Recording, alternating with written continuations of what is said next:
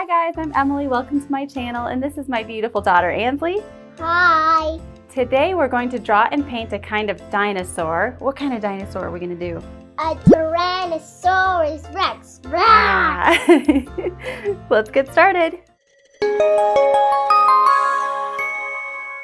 For today's Tyrannosaurus Rex tutorial, we're going to start with using the technique of drawing on simple shapes and then erasing out parts that we don't need later.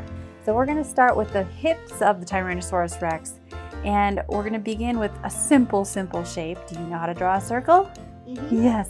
Okay, so let's draw our circle kind of in the middle but a little more to the right. And I'm going to make it fairly large, like that. And then we're going to draw a little ways away from the circle and higher, an oval shape. And it's going to be just as big as the circle. I guess I made mine a little smaller. try to make yours about as, the same size as the circle, but an oval. I'm too big. And probably that's too close, so let's erase that. You want to use my big eraser? Yeah. Good thing we have erasers. It's just a rough start. It doesn't have to be perfect at this point. We just want to block in our basic shapes. Mm. Okay, yeah, that's better. Now we're going to draw the dinosaur's back. So starting at the top of the oval, we're just going to connect it with a fairly straight but slightly curved line all the way to touch the first circle. Then we'll do the belly and you want to leave room for the top of the head here for the bottom of the head. So about halfway in the middle of your oval, that's where we'll start. Can you find a spot about halfway in? And connect that in a curved belly shape to the hips. Good. Let's do the tail next. We'll start with the top of the tail and it's just gonna curve around and to the left because we don't have a lot of space on our paper. We're gonna take the top of the tail and make a curved shape coming down like that. Now for the bottom of the tail, think about a tail as starting fat and then getting skinny as it comes to the end. So we'll start by touching the bottom of our circle with our pencil and following the shape of our first curve, but getting skinnier and skinnier and skinnier as we get to the tip. All right, you try.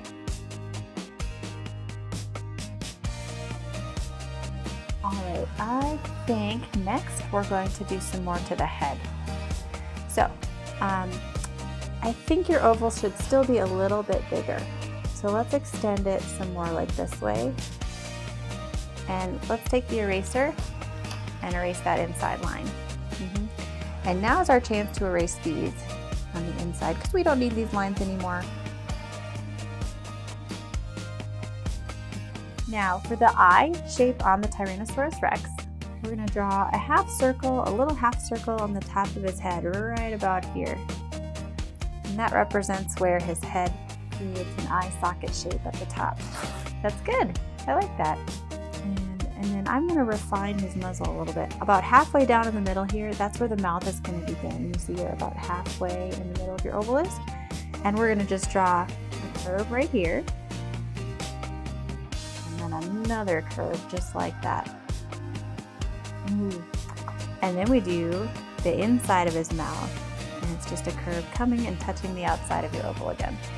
Yeah, because his mouth is open, right? So now we're going to erase again, just the inside of his open mouth right here. So erase this line. You want to try? All right, he's got his mouth open. Looking good. The next step is to add the eye, the nose, and the teeth. Let's start with the eye. Inside of our half circle that we made here, we're just to draw a little oval shape for his eye. And you can make him looking happy or angry, however you want.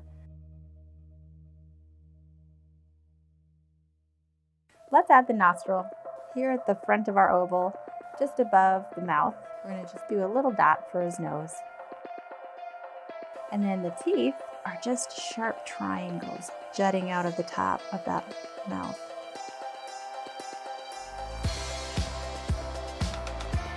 Now we're going to take his jawline and extend it into his head a little bit like that. So just a line coming up that looks like a jaw. Very nice. Good job. You ready to do the legs? For the legs, we're going to start with just lines indicating where his leg comes forward. So we're going to start with like the middle of our circle that we drew and draw a line down to the belly like that.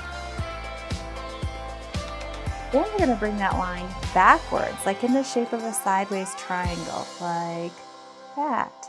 Sorry, the sideways square, in the shape of a sideways square. So bring it back this way a little bit more. If I, if I completed it like that, it would look like a square. But this is just half a square, see? And that's his knee. yes, that looks good. That's his knee. Next, we're gonna draw another line, but this time coming forward, just like the first line did. And this is gonna be his foot. Mm -hmm. And then the toes. Okay, so let's do a little curve coming up like that. He's gonna have three round toes. Before we do the toes, let's draw a straight line under his foot, like that, to show where his foot is flat on the ground. Just a short straight line right under his leg and, and toes. And then we're to connect that line behind our first one to fatten out his leg a little.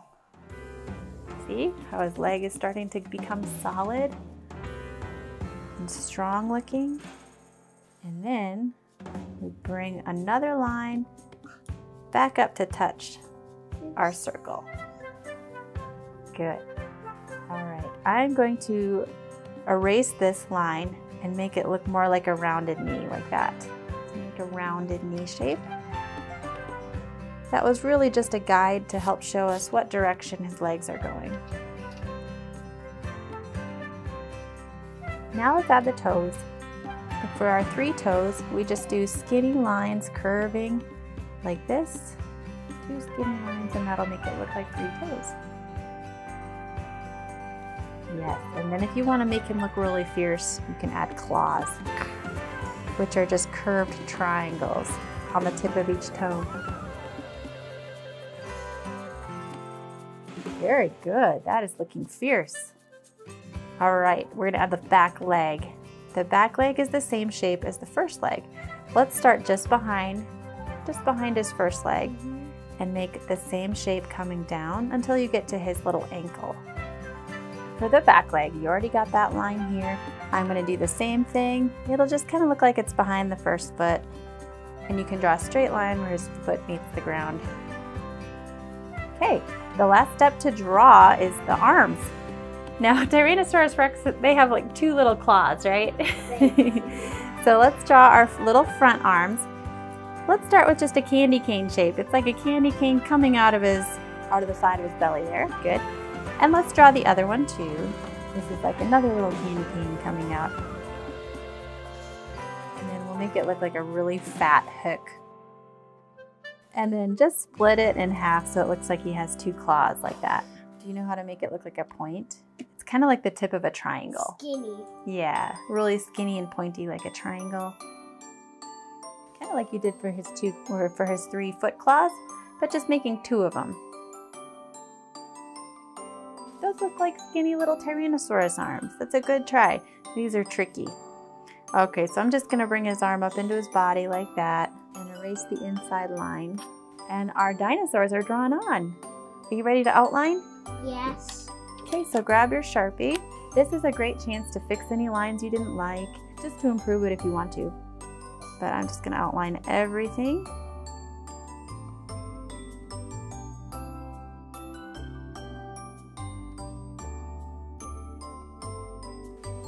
I like how you did his feet. Those look really good.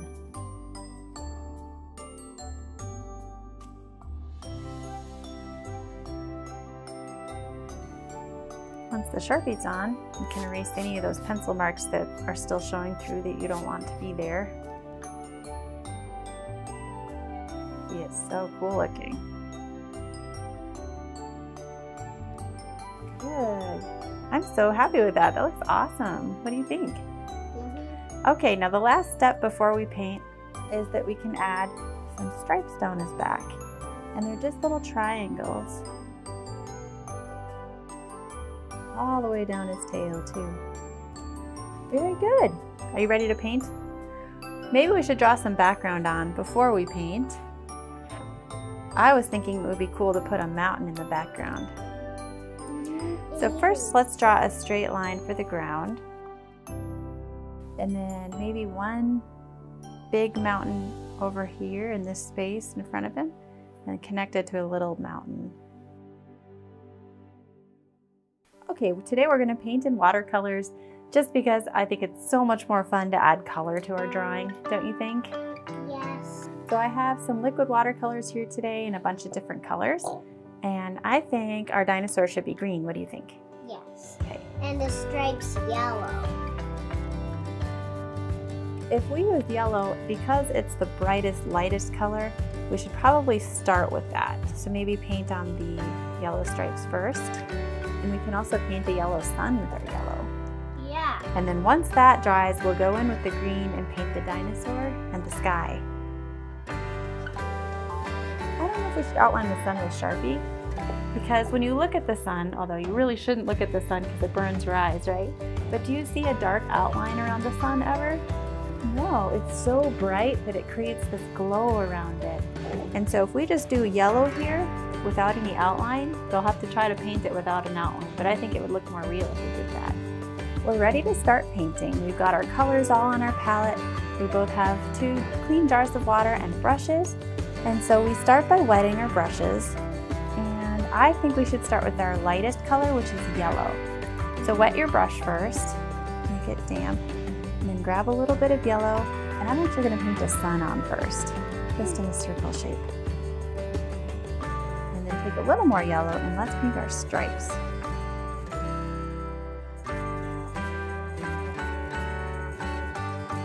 I'm actually gonna mix it up with the yellow a little bit to create a really bright green for our dinosaur.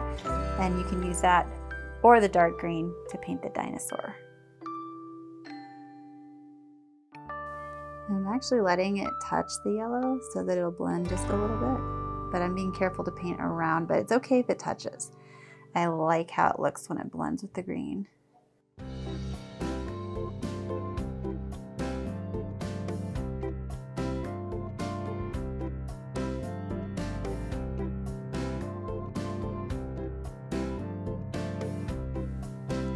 You can paint your landscape however you want.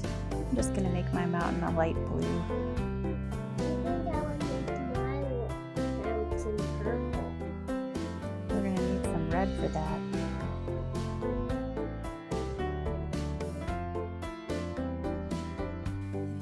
Together with a clean brush, you can get a purplish color for your mountain. Okay. Because red and blue makes purple. Mmm, pretty. Good, you ready to paint your mountain? Ooh, it really is purple. That is beautiful. I like your mountain better than mine. Yeah,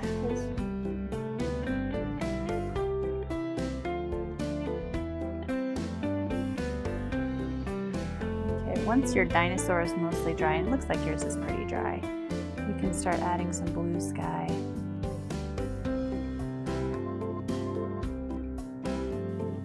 you know, dinosaurs used to be alive, and then they got washed away. Yep. Do you know what the word for that is? They got extinct. It's like when they're running away and then they trip and die. I'm not sure if that's how it happened. that's one theory.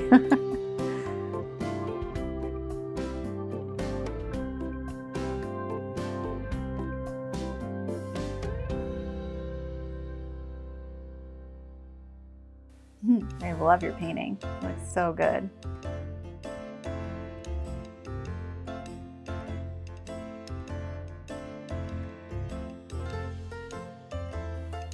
All right, I think we're done, right?